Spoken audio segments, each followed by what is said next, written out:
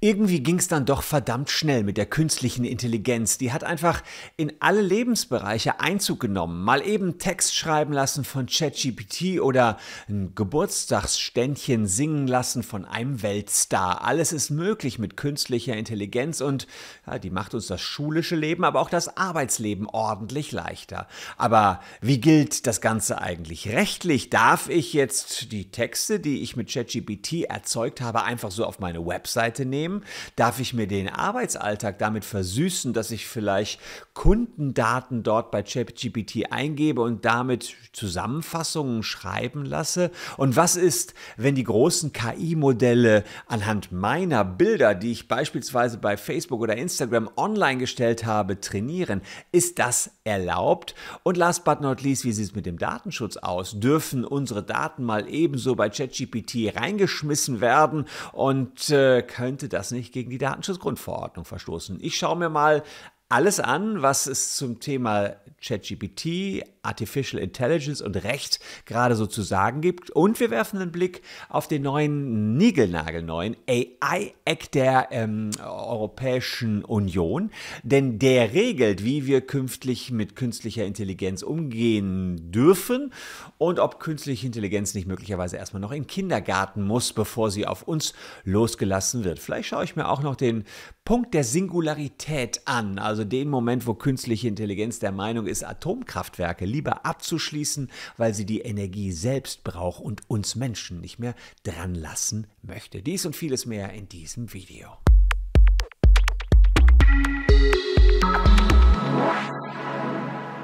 Hallo, ich bin Christian Solmecke, Rechtsanwalt und Partner bei WBS Legal in Köln und ich danke euch für eine Million Abonnenten. Menschen, eine ganze Menge hier auf diesem Kanal. Danke für jeden, der in den letzten 14 Jahren, ja, so lange gibt es mich hier schon, den Abo-Knopf gedrückt hat. Und ich möchte euch heute jemanden vorstellen. Diese junge Dame, das ist die Emily. Emily Pellegrini. Sie ist 23 Jahre alt, studiert in Italien, perfektes Aussehen, perfekter Charakter und man sieht sie hier auch auf YouTube. Dame verknallt haben, ihr Nachrichten geschrieben. Sie macht nämlich jeden TikTok Trend mit. Das einzige Problem, Emily, gibt es gar nicht, denn sie ist eine künstliche Intelligenz von einem Tech-Experten ins Leben gerufen. Das heißt, die Messages des Fußballspielers aus Deutschland dürften so ziemlich ins Leere gelaufen sein, der Emily kennenlernen wollte. Kein Einzelfall. Instagram ist voll von solchen künstlich erzeugten Menschen. Insofern sieht man schon, KI kann Chance sein als auch Gefahr. Was will Emily erreichen? Naja, fast alle dieser künstlichen Intelligenzen führen dann zu OnlyFans. Da kann man ein Abo abschließen und ihr ahnt es, da sieht man diese hübschen Damen dann auch noch nackig. Vielleicht sogar ganz gut, dann wird die Pornoindustrie nicht irgendwelche Menschen missbrauchen, äh, um Pornos zu erzeugen, sondern es wird alles künstlich gemacht. Aber äh, natürlich bietet künstliche Intelligenz auch hm, Risiken. Das sind nicht nur die lustigen Face-Swap-Apps, nein, da gibt es auch Deepfakes, mit denen der Huf von Menschen irreparabel zerstört werden kann. Letztens gab es in China noch den Fall, da hat es einen Videocall gegeben in Hongkong zwischen zwei Menschen und der Chef hat seinem Mitarbeiter gesagt, hey, weiß mal hier die 23 Millionen Euro an. Wohlgemerkt in einem Videocall, ja, was ist passiert, das war ein Betrüger, der hatte einfach nur das Gesicht vom Chef nachgeahmt und ja, das war dann wohl nix. Da ist missbräuchliche Nutzung von künstlicher Intelligenz sichtbar geworden. Wichtig auch, dass künstliche Intelligenz niemals diskriminierende Entscheidungen trifft. Könnte ja sein, dass die Unternehmen dieser Welt künftig alle Bewerbungen, die so im Posteingang sind, mal vorsortieren lassen von künstlicher Intelligenz. Doof aber, wenn die so trainiert worden ist, dass die hm, alle Frauen direkt rausschmeißt. Das wäre ja eine diskriminierende Entscheidung oder irgendwelche rassistischen Muster zu sehen wären, so wie bei diesem Chatbot, den Microsoft 2016 schon mal genutzt hatte. Tay hieß der und das war so ein Twitter-Chatbot und ihr seht, was der gemacht hat. Er hat dann plötzlich angefangen zu halluzinieren, würde ich es fast sagen. Er sagt, I fucking hate feminists and they should all die and burn in hell oder Hitler was right, I Hate the Jews. 2016 hat Microsoft das, das Ding dann schnell wieder abgeschaltet. Was war passiert? Alle möglichen Witzbolde hatten Microsofts KI damals schon nur mit frauenfeindlichen Inhalten und ähm, ähm, rechtsnationalen Inhalten trainiert und dann ist sowas dabei rausgekommen. Und das ist natürlich eine Gefahr von künstlicher Intelligenz, wenn man mit Trainingsdaten operiert, die alle in eine Richtung gehen, dann kommt auch genau sowas rein. Es gab mal diesen Spruch Shit in, Shit out, ist in einem anderen Zusammenhang äh, gesagt worden. Aber wenn man nur mit einer Richtung künstliche Intelligenz trainiert, dann kommt halt Mist bei raus. Und das ist eines der zentralen Elemente des AI-Act, dass man eben neutrale Trainingsdaten haben will. Es gab eine Abstimmung im EU-Parlament und da hat man eben diesen AI-Act als ersten Act äh, ja, in der ganzen Welt der künstliche Intelligenz ähm, regelt, beschlossen. Ich glaube, hier bei 330 seht ihr Axel Voss, der da auch einer der Parlamentarier war. Ich als CDU-Abgeordneter und ihr kennt ihn noch aus der ähm, Urheberrechtsnovelle der EU. Also der RI-Act ist jetzt in diesem Jahr oder ist gerade kürzlich beschlossen worden und ähm, ja, er war ein drei Drahtseil-Act. Denn einerseits soll er, soll er alle Menschen schützen, euch, damit künstliche Intelligenz nicht übergriffig wird, ja, damit sie keinen Mist baut mit euch, ähm, damit nicht plötzlich eure Bonität in den Keller geschickt wird, nur weil die Schufa KI einsetzt und plötzlich der Meinung, man ist Lieschen Müller, soll besser keine Kredite mehr bekommen. Dabei ist irgendwas bei der KI falsch gegangen. Andererseits möchte man auch, dass das volle Potenzial von KI entfaltet wird und wir in Europa nicht deswegen abgehängt werden, weil wir möglicherweise eine zu strenge Regelung haben. Also ein wirklicher Drahtseilakt das muss man an dieser Stelle sagen. Was der Inhalt des AI-Acts ist und wo künstliche Intelligenz dann hier geregelt wird, dazu gleich mehr. Aber ein Beispiel für ein innovatives Tool von künstlicher Intelligenz, das möchte ich euch mit Amber Search vorstellen. Das ist eine KI-App aus Deutschland, finde ich besonders cool, dass auch aus Deutschland mal noch gute Sachen kommen und nicht nur die Amis hier was entwickeln. Amber Search bringt euch nämlich ja, Ruhe und äh, vor allen Dingen Ordnung ins Datenchaos in eurem Unternehmen. Wir nutzen das übrigens auch bei uns in der Kanzlei. Daten und irgendwelche Infos, die finden sich ja an allen Orten in einem Unternehmen. Und äh, es wird immer schwierig für die Mitarbeitenden, die benötigten Informationen zu finden. Man benötigt am Tag rund 30 Minuten täglich mit der Suche nach Infos. Ja, und da kommt Amber Search ins Spiel. Amber Search funktioniert wie eine Suchmaschine aller Google, aber das Ganze kombiniert mit einem fortschrittlichen KI-Chat wie beispielsweise ChatGPT. Also man sucht unternehmensweit die Inhalte, wertet die aus, interpretiert die.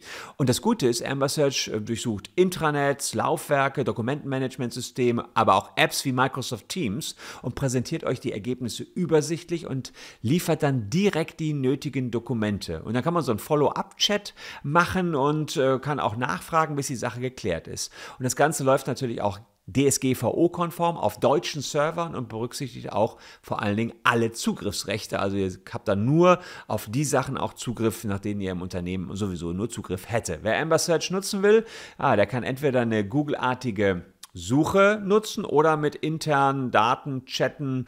Und äh, ich zeige euch mal ein Beispiel für den Chat. Ja, man kann hier eine beliebige Frage schreiben, wie zum Beispiel, schreib mir eine Antwort auf eine Kundenbeschwerde der Firma XY. Ja, und wenn dann eine Vorlage dazu existiert, irgendwo im Intranet, ähm, und die Beschwerde selbst auch gefunden wurde, ja, dann generiert die Software automatisch eine Antwort nach dem internen Vorgang, der einmal beschrieben worden ist. Das werden Ergebnisse aus den verschiedenen Datensammlungen dann berücksichtigt und man kann die genutzten relevanten Daten sich auch anzeigen lassen.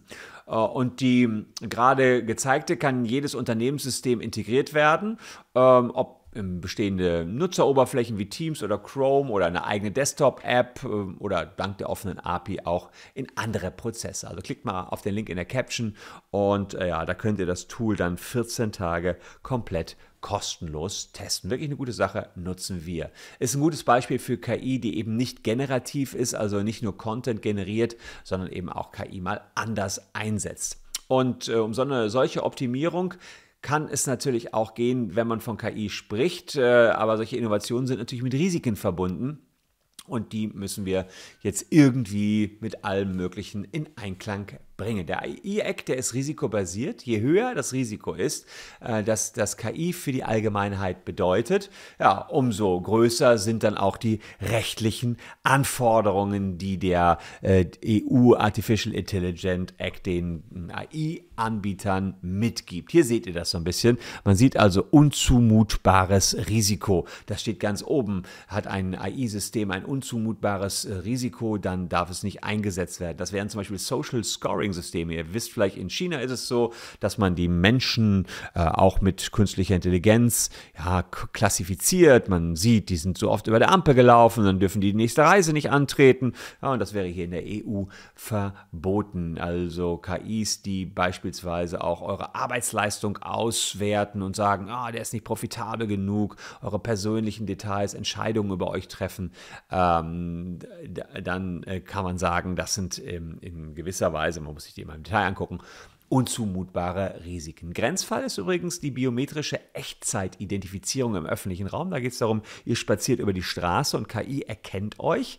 Ähm, super hart äh, diskutiert worden, aber ist nachher doch erlaubt worden für die Suche nach Verdächtigen schwerer Straftaten. Also ähm, da kann man künstliche Intelligenz schon zur Überwachung aller Menschen nutzen, obwohl ich das fast als sehr hohes Risiko ganz oben einstufen würde, hat man aber gesagt, es müssen wirklich schwere Straftaten sein. Dann seht ihr die Hochrisiko- KI-Systeme, die können eine Gefahr für eure Gesundheit darstellen. Die sind auch besonders geregelt. Das sind solche, die können äh, Profile von Personen erstellen und irgendwie persönliche Daten automatisiert äh, ja, verarbeiten. Ähm, das wäre zum Beispiel eine Bewerbungs-KI, äh, die eure Bewerbung aussortiert oder KIs, die irgendwelche Migranten einstuft oder KIs, die bei Gerichten und Justizbehörden eingesetzt werden oder die den Wahlkampf optimieren sollen oder die in der kritischen Infrastruktur, also bei Wasser, Gas, Energie eingesetzt werden. Hier gibt es also strengste Vorschriften für diejenigen, die hier die KI erstellen. Ähm, die müssen die bewerten lassen von den Behörden vorher. Die brauchen eigenes Risikomanagement, fehlerfreie Datensätze, technische Grundlagen müssen mit eingereicht werden, Transparenz, eine Gebrauchsanweisung für die Nutzer und immer eine menschliche Aufsicht. Also das bei Hochrisiko-KI. Dann regelt der AI-Act ähm, eine zweite Stufe mit weniger Risiko oder sehr geringes Risiko. Da geht es zum Beispiel um Chatbots, Videospiele, Gesichtserkennungsfilter, ja, Dinge, wobei jetzt nicht zwingend Grundrechte betroffen sind und sensible Daten. Da geht es vor allen Dingen darum, dass der ähm, Nutzer immer wissen muss, ich habe es hier mit einem Chatbot zu tun. Also ihr dürft nicht irgendwie vortäuschen, das sei ein Mensch. Es muss immer klar sein, hier ist ein Chatbot am Gange. Also äh, insofern da dieses Transparenzrisiko, das heißt, wenn man nicht so genau weiß und soll nicht getäuscht werden von AI, ist auch auf der dritten Stufe geregelt. Und unten dann hat man manchmal so Spamfilter, die KI einsetzen. Da sagt man, okay, da müssen wir hier gar nichts regulieren an dieser Stelle. Äh, bei ChatGPT ist es so, das ist äh, eine eigene Kategorie, Allzweck-KI-Modelle. Hm, da hm, haben wir eine eigene Risikokategorie geschaffen auf EU-Ebene. Die haben besondere Transparenzpflichten. Äh, zum Beispiel müssen diejenigen, die dann da Bilder erzeugen, ähm, wie beispielsweise DALI-I, die müssen dann die Bilder und Texte computerlesbar kennzeichnen. Das heißt, die müssen sowas wie digitale Wasserzeichen da einbauen. Steht im AI-Act drin, der allerdings aktuell ja noch nicht ähm, umsetzbar ist, dauert noch ein Jahr bis 36 Monate, bis die einzelnen Anbieter hier handeln müssen. Da bei KI auch personenbezogene Daten verwendet werden, ist ja klar, man trainiert ja teilweise mit Unternehmensdaten, Mitarbeiterdaten, Kundendaten, ist es so, dass die Europäische Union gesagt hat, ja gut, die Datenschutzgrundverordnung gilt natürlich trotzdem. Und das ist ein Riesenproblem, weil natürlich da tausendfach Daten verarbeitet werden. Jetzt weiß kein Unternehmen so ganz genau, okay, wie kann ich denn jetzt überhaupt KI trainieren? Und dafür gibt es eine neue Orientierungshilfe der Datenschutzaufsichtsbehörden vom 6. Mai 2024, Version 1.0. Ich glaube, es sind so 15 DIN A4 Seiten und da haben sich die Aufsichtsbehörden der Länder in Deutschland mal Gedanken gemacht, wie kann man eigentlich KI in Deutschland datenschutzkonform einsetzen? Ist nicht ganz simpel, weil die sagen, naja, theoretisch habt ihr alle, wenn ihr erstmal, wenn eure Daten mal in so eine KI gelangt sind, beispielsweise von eurem Unternehmen, äh, das Recht, dass ihr auch daraus wieder gelöscht werdet. Jetzt muss man aber wissen, wenn eure Daten einmal in so einem Large Language Modell drin sind, kann man das da nicht mehr rauslöschen. Das ist da drin. Man kann nur das ganze Modell wegschmeißen. Ja, und ehrlicherweise, da scheitert es schon mit unserem Datenschutz. Ähm, denn die Aufsichtsbehörden sagen, ja, eigentlich müsste man ja dann eure Namen aus dem Large Language Modell da wieder rausziehen. Geht aber nicht. Zwar nicht ganz richtig ist es, aber wir würden es, glaube ich, mit einem Auge zu tolerieren, so ungefähr steht das da drin, wenn dann Filter eingesetzt werden und euer Name da nicht mit rausgespuckt wird nachher. Aber ihr seht schon, im Datenschutzrecht ist noch vieles unklar. Wer da als Unternehmen jetzt hier zuschaut und sich sagt, oh cool, cool, muss ich mir mal angucken, sucht nach der Orientierungshilfe der Konferenz der Datenschutzaufsichtsbehörden vom 6. Mai 2024, dann werdet ihr fündig. Ähm, die haben ähm, ja, einige Maßgaben da mit auf den Weg gegeben. Der AI-Act, der mh, hm, betrifft vor allen Dingen die Anbieter und die Entwickler der KI-Systeme. Bei denen wird jetzt ehrlicherweise bald die Hütte brennen, je nach Risiko, muss man sagen, müssen die ein bisschen was verändern. Auch bei Unternehmen, die die KI-Technologien unmittelbar einsetzen. Für euch als Nutzer, die einen Chatbot einfach nur so für private Zwecke nutzen, da gilt der AI-Act nicht. Da gelten aber andere Regeln, auf die ich gleich auch zu sprechen komme. Äh, der AI spricht zwar manchmal von Nutzern, aber das sind sogenannte Nachfolgenutzer, also Unternehmen, die KI bei sich einbinden. Die müssen schon den AI-Act mal lesen oder halt zu mir kommen. Ich habe ihn gelesen und kann da ein bisschen Support geben. Ähm, aber, oder wenn man jetzt hier so einen KI-gestützten Suchalgorithmus wie Amber Search hat, die müssen sich das auch anschauen natürlich. Ähm, aber ihr als Nutzer habt jetzt mit dem AI-Act unmittelbar nicht so viel zu tun, betrifft eher Unternehmen. Ihr interessiert euch jetzt allerdings dafür, ob ihr zum Beispiel KI-generierte Werke benutzen dürft, ob KI eure generierten Werke nutzen kann und ob man irgendwie eine Quelle angeben muss. Ähm, dürfen andere eure Werke nutzen? Kann ich die dann verklagen? Kann ich verklagt werden? Das ist so ein bisschen das, was äh, euch interessiert. Dazu steht im AI-Act rein gar nichts drin. Das haben die nicht geregelt. Die haben gesagt, das ist Sache des nationalen Rechts oder des EU-Rechts. Ja, und da müssen wir gucken. Gucken wir in unser Urheberrecht rein. Und äh, da ist es so, ja, wenn ihr eine geistige Schöpfung habt, dann habt ihr auch Urheberrechte. Jetzt ist aber so, dass das, dieser kleine Prompt, wenn ihr sagt, hier mal mir ein Bild mit Blumen und einem blauen Himmel, dann kriegt ihr das auch, aber das Ganze ist nicht urheberrechtlich geschützt. Das heißt, die Schöpfungshöhe fehlt. Wenn ihr natürlich einen sehr komplexen Prompt habt, dann kann ich schon sagen, naja, vielleicht habt ihr dann am Output, also an dem Gemälde, dann möglicherweise auch Urheberrechte, ist ein bisschen schwieriger. In der Regel habt ihr Rechte an dem Prompt selbst. Also das wird nicht ganz simpel für die Gerichte, das künftig zu herzuleiten, dass man Rechte an den KI-generierten Bildern hat. Das könnte man so machen, dass man sagt, ja, KI ist nur ein Werkzeug. Über den Prompt bediene ich das Werkzeug und dann habe ich wiederum Rechte am Output. Klappt aber nur, wenn der Prompt komplex genug ist. Ansonsten habt ihr keine Rechte an den Bildern. Die sind gemeinfrei und jeder kann die Bilder verwenden. Auch ganz wichtig zu wissen. Und übrigens, wenn ihr ja so Bildgeneratoren wie DALI-I äh, oder Midjourney verwendet, müsst ihr auch immer mal in die Nutzungsbedingungen gucken. Manchmal schreiben die da rein, hey, an dem Output, den der Nutzer erzeugt hat, können wir auch wieder Rechte haben. Das heißt, die sichern sich einfach per Nutzungsbedingungen Rechte. Auch das ganz, ganz wichtig, wenn man Inhalte, Texte, Bilder mit KI generiert. Also ich habe da sehr viele Mandanten gerade in diesem Bereich, die da unsicher sind. Wir beraten die. Ähm, es könnte ein Trick sein, dass man was per KI generieren lässt und ein bisschen noch an den Bildern und Texten rumfummelt. Dann erzeugt man eigene Rechte daran. Dann kann es euch nachher keiner mehr klauen. Und ansonsten ist halt das, was die KI eben äh, veröffentlicht, hat keiner Rechte dran. So, ähm, dann ist es äh, natürlich so, dass die KI ja irgendwo lernen muss. Äh, sie lernt und hm, ja, abstrahiert. Die KI selbst begeht übrigens dann keine Urheberrechtsverletzung, während sie lernt und sie speichert die Bilder nicht. Sie nimmt sich ein Bild aus dem Internet und trainiert an dem Bild. Jetzt sagt ihr, ja gut, damit muss sie das ja auch entsprechend verarbeiten. Sie muss ja irgendwo kopieren, damit sie überhaupt damit trainieren kann. Ja, das darf sie aber. Das steht nämlich witzigerweise im Urheberrechtsgesetz drin, 44b, Text und Data Mining. Die haben gesagt, Text- und Data Mining ist die automatisierte Analyse von einzelnen oder mehreren digitalen oder digitalisierten Werken, um daraus Informationen insbesondere über Muster, Trends und Korrelationen zu gewinnen.